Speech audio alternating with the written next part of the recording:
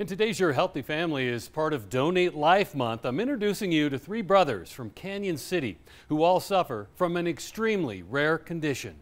Meet Marcus Christopher and Austin Root. Here we have Austin, who is 10. And we have Christopher, who is 11. We have Marcus, who is 12, that will be almost 13 years old. All three share a love of life and each other and their family. And they also share a rare disorder called cystinosis.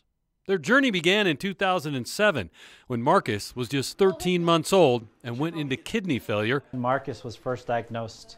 He was life flighted to Denver Children's, and like at the time we were living in Wyoming, none of the doctors there could tell us what was wrong with him. By the time Marcus's cystinosis was diagnosed, Christopher was already on the way, but he was misdiagnosed at birth as not having cystinosis. Christopher also suffered renal failure at 14 months of age and that's when he was properly diagnosed, and Austin was already on the way. He was diagnosed right at birth. Um, they did the lab draws. We were able to start his treatments right at birth. Dr. Margaret Bock, a pediatric nephrologist with Children's Colorado, says the odds of three boys in one family in a row getting the disease in itself is very rare. First, both parents have to be carriers. So the way cystinosis is inherited is um, typically in families. Um, people are carriers, which doesn't cause any kind of um, disease in them. And then if you have two carriers who are lucky enough to find each other, then if those folks have kids, um, you have a one in four chance of having a child with cystinosis. They tell you you're only going to have one out of four biological kids yeah. who get this rare disorder.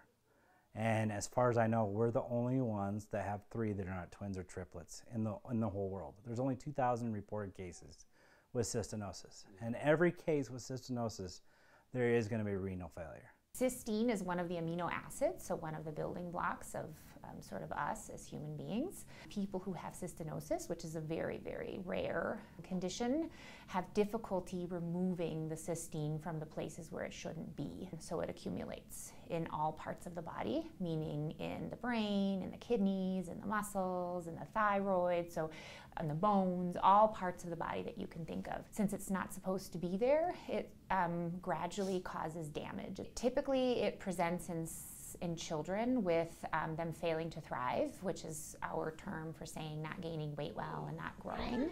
Often the kids who have cystinosis also have a very large amount of thirst and pee a lot, which is sort of a function of what's happening when the cysteine, the, that amino acid, is um, being deposited in the kidney and causing that kind of damage. So we get these stories, you know, my kid's not growing they're not gaining weight, and they wake up at night and drink multiple cups of water. Um, those sort of put our ears alert that this might be related to cystinosis. Cystinosis continues to be a challenging disease, but treatment has come a long way, says Dr. Bock. Kids with cystinosis many, you know, decades ago didn't survive long into adulthood, and um, survival is now improving and improving over time. And these kids turn into adults and lead, lead very normal, full lives. With improvement in our medications and um, care and such, those, the lifespan continues to get longer and longer and longer. And in part two of my story about these three brothers, the next crucial step in their journey kidney transplant, and I'll have that for you later this week. For your healthy family, I'm Ira Cronin. For more health stories, head to yourhealthyfamily.com.